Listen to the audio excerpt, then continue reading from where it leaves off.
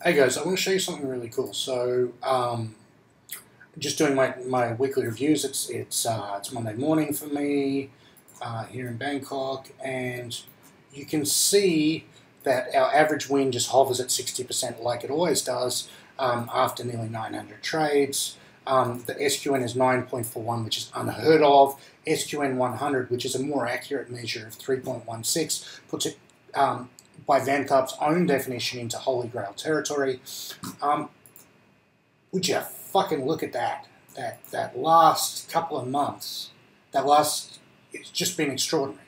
So what I want to show you is first of all, um, the last two weeks on our daily profit breakdown. The last losing day we had, and it was only like it was only one losing day, was um, last month. So this month and in fact, before this month, we've had 1, 2, 3, 4, 5, 6, 7, 8, 9, 10, 11, 12 consecutive winning days. Um, the last two weeks, winner after winner after winner, and big winning days. Like, let's look at look at this.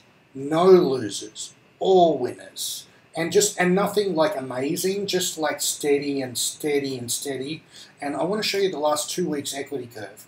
So the last two weeks performance has just been exactly what you want to see from a system.